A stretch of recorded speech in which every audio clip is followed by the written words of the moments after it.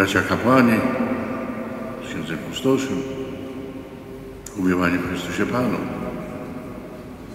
Dzisiejsza uroczystość wszystkich świętych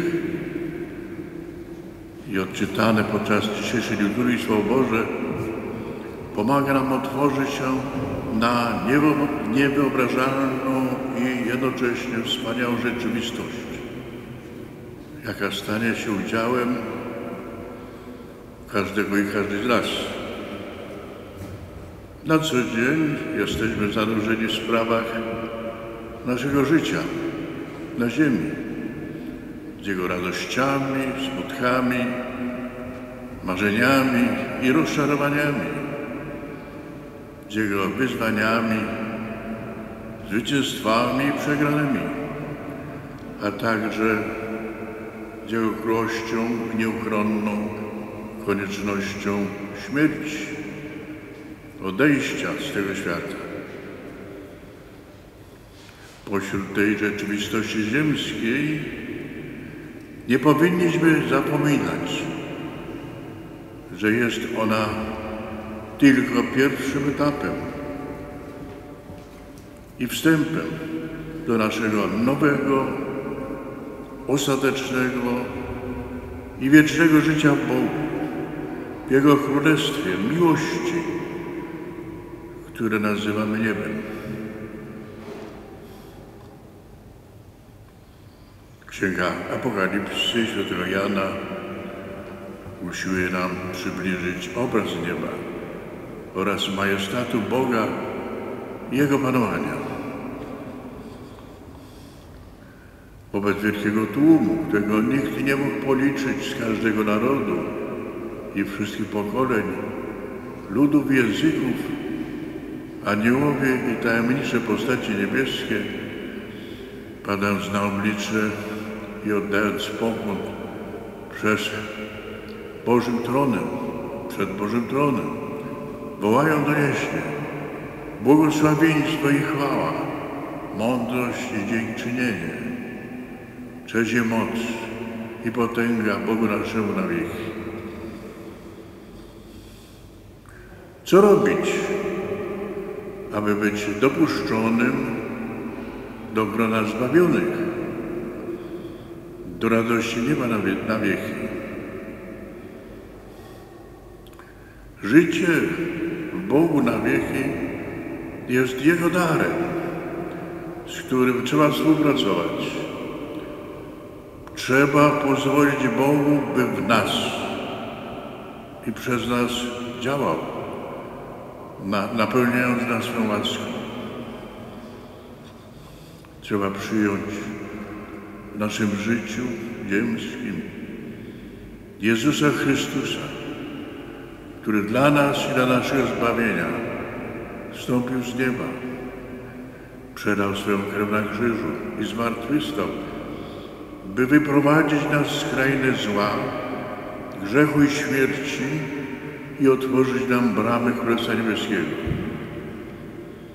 Trzeba być otwartym na działanie Ducha Świętego, który rozpala w naszych sercach miłość i czyni nas zdolnymi do pomnażania w świecie dobra, otwierając się na Boga, pozwalając Mu, by nami kierował. W ten sposób dojrzewamy do świętości, czyli do ostatecznego zjednoczenia z Nim na wieki.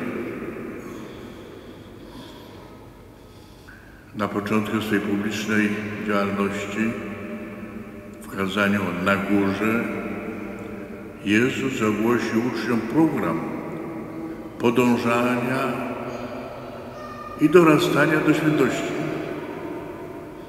Ten program, jak słyszeliśmy, zawarty jest w ośmiu błogosławieństwach, które Kościół odczytuje w uroczystość wszystkich świętych. Także przed chwilą ten program został odczytany. Już pierwsze błogosławieństwo błogosławieni ubodzy w duchu. Kreśli nam sylwetkę i wewnętrzną postawę człowieka gotowego przyjąć Jezusowi, Jezusowy styl życia, patrzenia na świat, reagowania wobec trudności i wyzwań. Być ubogiem w duchu, błogosławionym, to znaczy szczęśliwym, to znaczy postawić całkowicie na Boga. To znaczy wyrzec się fałszywego mniemania o samowystarczalności człowieka, którego los jest przecież całkowicie w ręku Jego Stwórcy i Pana. Być Bogiem w duchu, szczęśliwym, to znaczy przyjąć Jezusową postawę bezinteresownej służby. Pozostaje błogosławieństwa, w jakiejś mierze łączą się z pierwszym. Człowiek ubogi w duchu jest człowiekiem spokojnym, cichym, czyniącym pokój, pragnącym sprawiedliwości i nie odpowiadającym przemocą na przemoc, ale zwyciężającym zło dobrem. Człowiek ubogi w duchu jest miłosierny, bo wie, że miłosierdzie jest imieniem Boga i rozbraja ludzkie serca. Człowiek szczęśliwy, ubogi, ma przejrzyste, czyste serce i stara się, by jego serce biło w rytmie serca Bożego.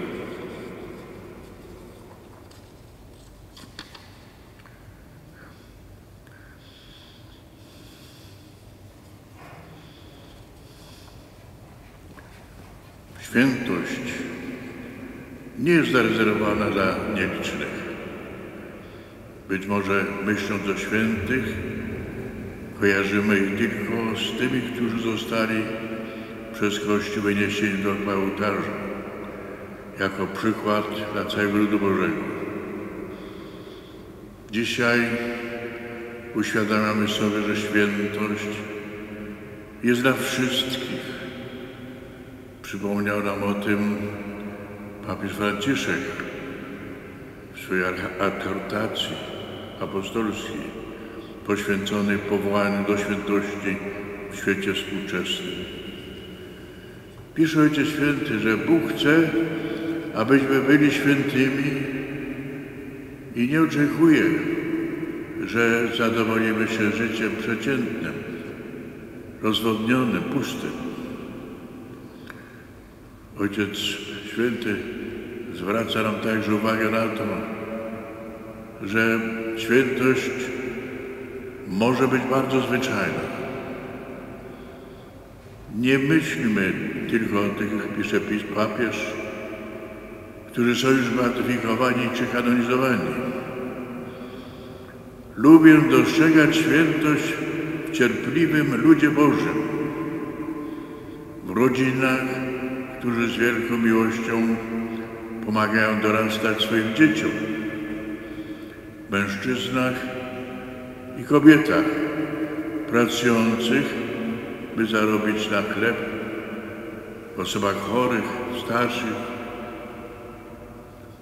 zakonnicach i zakonników, którzy nadal się uśmiechają. W tej wytrwałości aby iść naprzód, dzień po dniu widzę świętość Kościoła walczącego.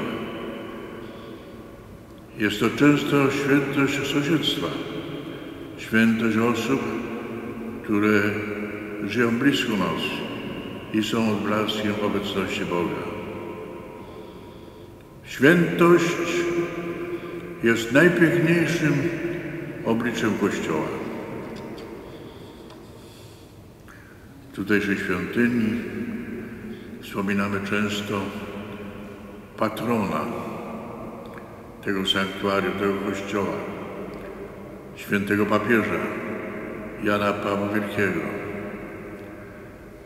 Był on jest świętym naszych czasów,